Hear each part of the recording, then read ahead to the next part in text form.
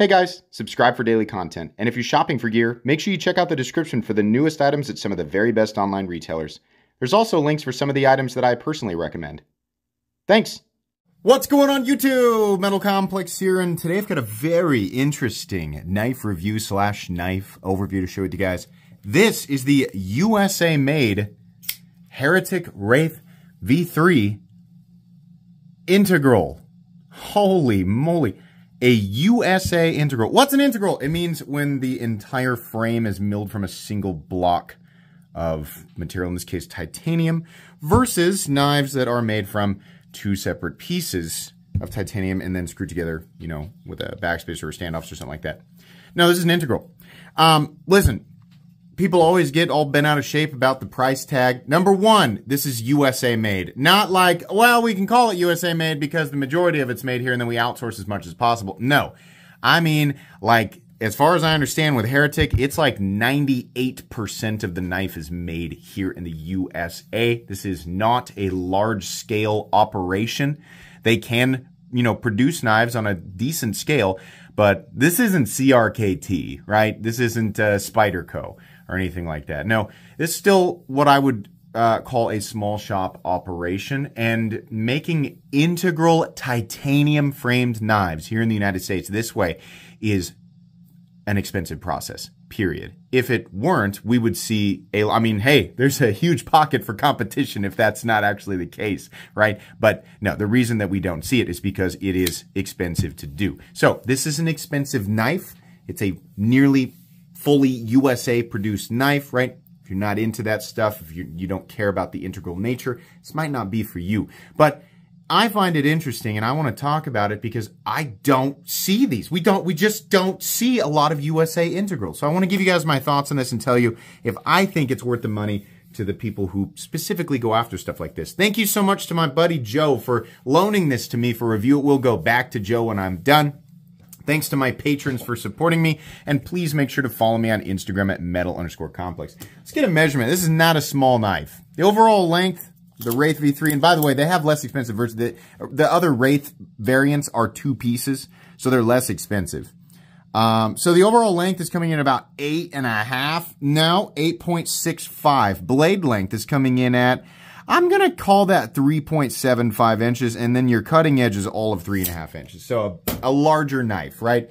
Let's do some size comparisons. Any custom scales you see can be found down in the description under Original GOAT and others. So up against the 8010. You can see here, not quite as tall, but definitely at least as long. How about up against the Demko AD 20.5? Quite a bit bigger there. How about up against the Spyderco PM2 and the Spyderco Para 3, definitely a little larger than both. And then finally, how about up against the Benchmade Griptilian, or in this case, the Ritter Hogue, love that green, and the uh, Hogue Deka. Okay, how's the action on this guy? This is where I'm a, it, it, uh, it's a little, it's a little bit weird. Okay, number one, uh, when he sends me, Joe uses this. This is not a knife that is babied. This is a knife that Joe uses. Now, I carried this, and initially I was like, wow, that's a lot of knife, right? But it's, it's cool, though. The action um, was, honestly, it was falling shut um, right away, but I noticed that the blade initially was slightly off-center. I've got it centered now, um, but it's still a, a, little bit tight. Now, the action's all right, and the weight of the blade is helping it, right? Um, but it doesn't feel glassy smooth. It feels all right, right? I'm not going to say that it's bumpy or anything like that. It just feels tight. Um, I would imagine over time it will continue to break in. It might have something to do with the coating. Usually they don't coat it around the area. Well, actually you can see the detent ball is riding directly on that. It's wearing its race in, right? But it's okay. The detent feels a little weak. It's a little thuddy, right?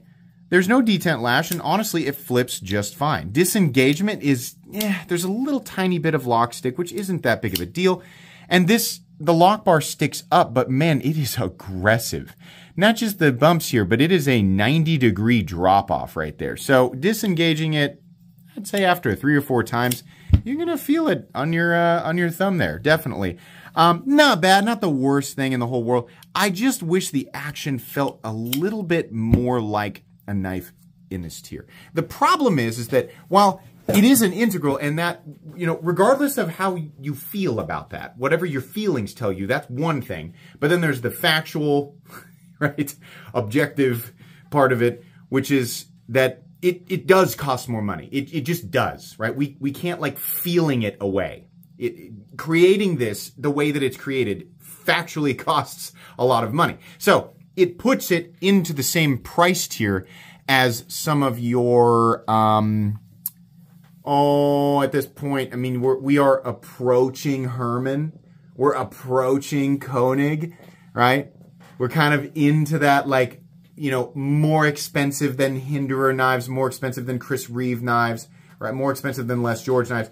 We're, we're past that and we're getting into, you know, this upper tier. While the action feels honestly not quite as good as even Hinderer or, well, you know, Chris Reeve has a totally different thing going on, but the, the feeling of quality in the action is kind of lackluster. It's fine and it will work, but I'm not sure that it's what people expect when they spend this money. Now, if you're not an action snob, it's hard not to be at this price point, right? But if you're not an action snob, then you might not care, right? Because there's plenty, there's plenty else here to enjoy, um, legitimately. But I, I, just needed to be, um, you know, I needed to try and, and, get that translated. The flipper tab actually feels pretty good, and the leverage you get off of it is fine. And I think, you know, by the time you get it lifted, there's so much weight and mass in the blade. Uh, that it's going to fire and it, and you know, it, when it hits, it, it feels good. I mean, the flip is good. The detent, I think, just needs to be a little bit heavier and it just doesn't have that click. It's just like dunk, you know. Um, anyways, let's do carry profile. So thickness up against the Spyderco Para 3. It's pretty thick, pretty thick. Um, so initially I was like, is this contoured? No, it's not. Uh, it is flat titanium. That would have been wild. there is a big difference, right, when we're talking about the titanium, how it's machined. If it's contoured, whoa, the machines that do that are way more expensive. Um, but no, we've we've got flat titanium. That's okay. There's nothing wrong with that because they've chamfered this um, in a way that really makes it feel contoured. It, it really does have a, a good quality feel just holding it, right? Um, so it's it's quite a bit thicker. And then length and height up against the PM2 and the Para 3. Uh, this is a big boy. Um, not not quite as tall. It, it's it's approaching it though, including the flipper tab. It's just it's actually longer than the PM2 and way thicker, right? Not just in the frame, but in the blade, everything like that. Let's weigh it. What are we actually looking at here for materials? So we have um, MagnaCut. That's serial number. Serial number 10. Nice. Um, serial number uh, 10, but we, we have uh, Magna Cut, a big, thick piece of Magna Cut. We have titanium, the whole frame, right? And then we have carbon fiber, a little bit of frag texture in that carbon fiber. It's a lot of material, and there is no internal milling. You can't really do that on you know, an integral. Well, you could, but you'd have to kind of go all the way through. You'd have to almost skeletonize it, uh, like like from the outside. So uh, the weight is 7.5 ounces. It is a big boy. I feel like if you're if you're looking at this knife, the weight might not bother the people who are actually interested in it, right? But obviously, if you're used to carrying smaller, lighter weight knives, that's probably going to be way too heavy for you go ahead and do a hardware check. One of the biggest, uh, my, my, tools are very inexpensive and very recommendable. You can find them right down in the section of my description that talks about the tools I use in this channel. Okay. One of the advantages of an integral, right? Because people always say, what's the point? Well, there's hardly any steps for disassembly. You just take the pivot out and then you can pull the blade out and you're good. I mean, the, the, the, you don't need to take the frame apart. You don't need to take the pocket clip. There's no reason to take the pocket clip off because you can't switch it to the other side anyway in this case. So there's no reason to do that. There's definitely no reason to take the lock bar. You, you don't like if you if you're like, but I like to maintain my knives. You, you don't take the screws out of the the over travel and the lock bar insert and then like polish them. You don't do that. So you leave all these screws in there. You just it's just the pivot. And then you take the blade out if you want to do that. Most of the time you just blow it out with compressed air. You don't even need to do that. But an integral just has fewer parts. Now this has a scale on top of the uh, the frame on one side, which is kind of neat. They didn't need to do that, but they did, and it's got three screws in it holding it in there. But you don't need to take that off either. These body screws, I think, are actually T10. Yeah, I think almost every other screw on this knife is a T10. Pocket clip screw is a T10. Yeah, all these all these screws are T10. Uh, same with the scale screws. Now the pivot, which I, like I said, I adjusted. That is a T25. I love that, man. You ne you never have to worry about uh, dicking up the pivot with something like a T25. That is just great. It is not free spinning, by the way. I adjusted it without the, at least, at least, you know, if, it's not a D-shaped barrel or a captive barrel, uh, the, uh, it doesn't move. Um, the, the friction in there from, from the tolerances keeps it from moving. So it was actually very easy to adjust. I love integrals for that reason. Number one, it is cool that it's a solid piece of titanium. It just feel, even if it's not technically more durable, it feels more durable, feels more solid, and it is much easier to take apart and put back together, and there's just fewer parts, right? It's just less fussiness with an integral. So that's cool. Um, we already weighed it. Let's measure the blade stock thickness. I'm going to guess that that comes in at about 190 thousandths. That is a pretty substantial blade all the way down. Mm-hmm. No. Even more. Ooh. A fifth of an inch there. Thick blade. Okay. Meat and potatoes time.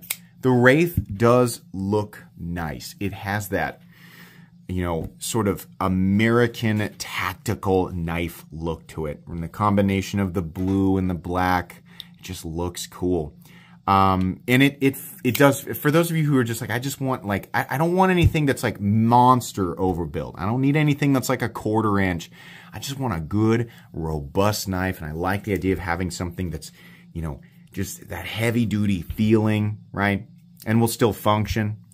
And, you know, and, and if you're, and if on top of that, you're into integrals, well, then this is it. This is what you're after, right? If you're not the action snob, if you're not, you know, you don't need the complex machining or anything. This might be for you because it really doesn't have anything ultra complicated going on. And I think that's really the only reason they managed to get it down to the price that they did. If you'd have asked me before I saw this and maybe one other integral, and they both happen to be pretty simple integrals, I would have thought, in 2023, it's not possible to do an integral for under like $700. So it's pretty amazing that they got this to where it is. And if you wonder, I'll just tell you what the price is right now. It's about 600 bucks.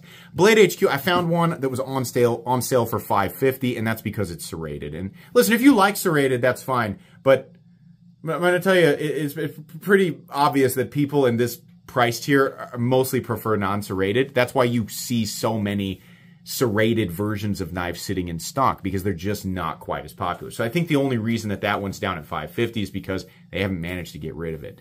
Um, there may still be a few of these floating around out there, but this was definitely the more, as as is usually the case, is more popular one. So that the actual base price of this is about 600 bucks.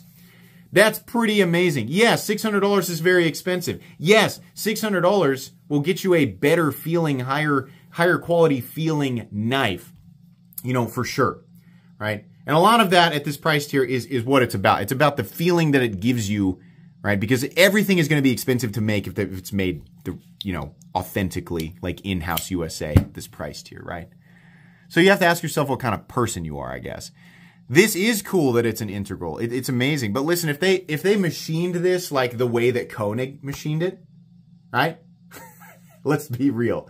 If Koenig made an integral Arius, let's put it that way, uh, I don't even think people want to know what that's going to cost, right? So, it, you know, it's kind of, we've got a teeter-totter, a multi-directional teeter-totter here, where we're adding something to one side and pulling something away from the other, right? So it depends on which side of that teeter-totter you want to sit on.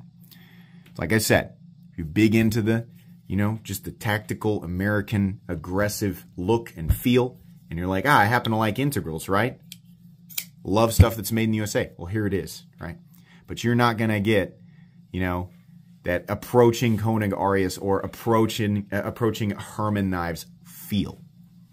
So that's you know we have to kind of set your expectations there.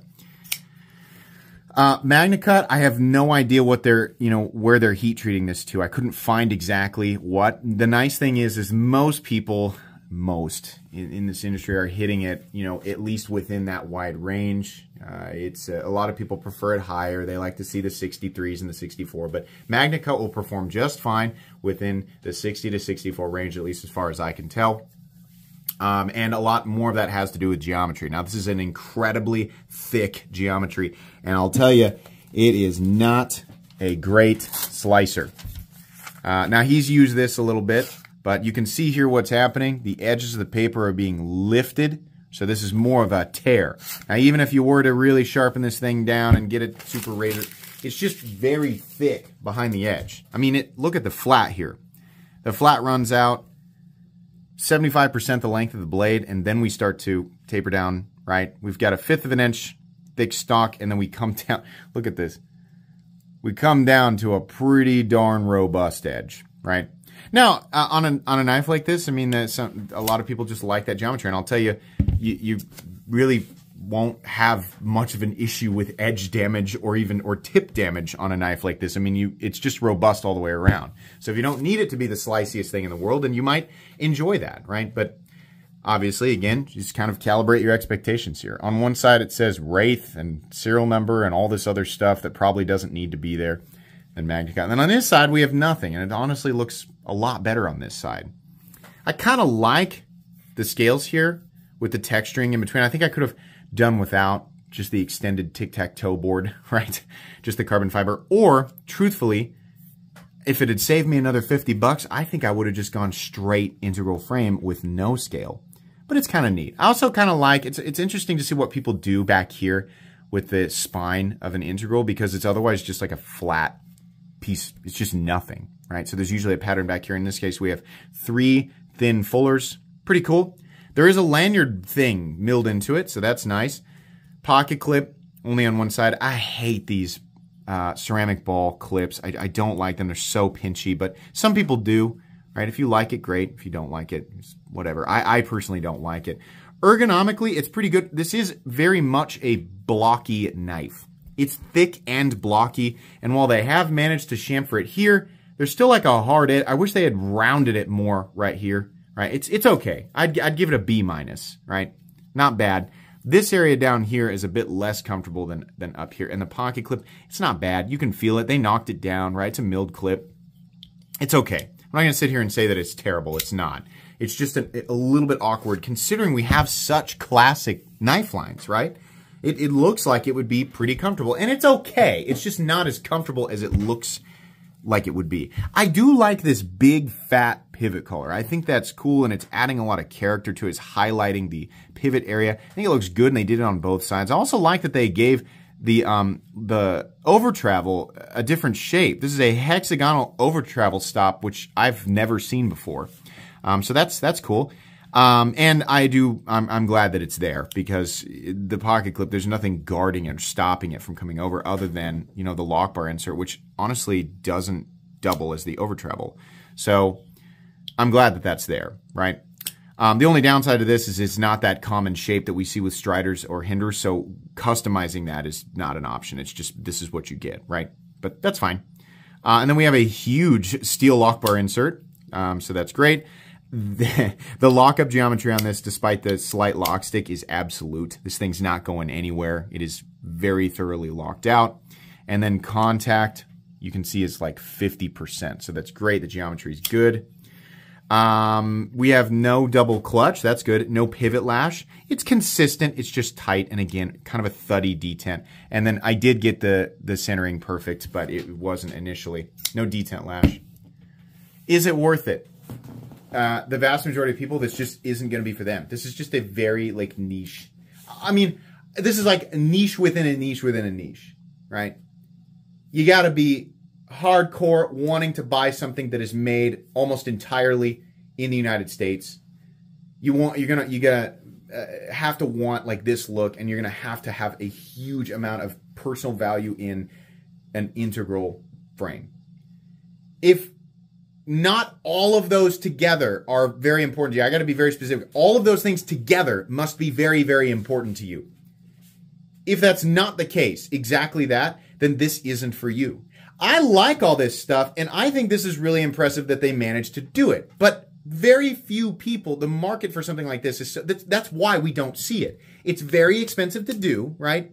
The, the, the group of the groups of people who are always like everything's a ripoff and they're, oh, they're ripping it. Those people have such a hard time explaining why we don't see more USA integrals. That's like the that's like the the silver bullet for them, right? because the reason that we don't see them is because they are expensive to do. Making anything in the USA, like entirely in the USA, is expensive. Machining titanium in the USA is expensive, right? So this is one of those things that's it's kind of proves it. The, the, reason that we just don't see like this huge market of USA integral knives is because it's not cheap to do and it is kind of risky, right? It's always going to end up being an expensive thing and they can't be produced in large enough quantities to be beneficial for some of these smaller companies to do them all the time. It's neat that they managed to do this and it's impressive that they can do it for and they can charge 600 bucks for it. I don't know how much money they're making off of it. Can't be a whole lot, right? But it's neat. If you like all that stuff together, I think you might like this. But if you're not into, you know, one or all of those things, then uh, yeah, absolutely not. This isn't going to be for you. It's cool, right? But that's that's really that's my honest take. Joe, thank you so much for sending this. It's always nice to check out something that's a little bit different. Um, I hope you guys enjoyed this video. Please make sure to follow me on Instagram at metal underscore complex. If you did enjoy this video, leave a like. If you'd like to check out my other content, I do of course have lots of videos of knives that are either expensive or inexpensive that I do or don't like, so check those out. And if you enjoy all my content, go ahead and click on that metal complex logo right there and subscribe because there's definitely more coming. Thanks again for watching everybody and have a great day.